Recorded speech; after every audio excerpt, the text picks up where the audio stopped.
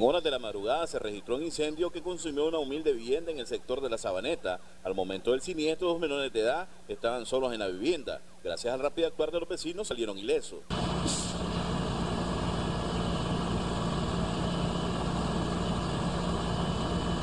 Logramos apagar el juego, pero ya cuando vinieron ellos, entendieron más agua allí y, lo, y, lograron pues a, terminar pues el juego. Eh, pero los dos chavalitos que estaban ahí, uno, tiene como 10 años, el otro no sé, más o menos tiene como unos 8 años, el otro niño. Pues, los, padres de ellos son descuidados prácticamente, pues, porque no lo deberían dejar solo a los, niños, pues, porque deberían de estar ellos bajo el cuidado de uno.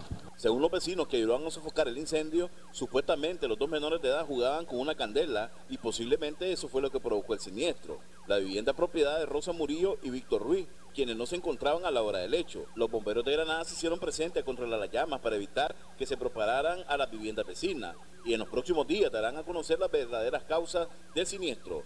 Para Acción 10 les informó Martín Orozco.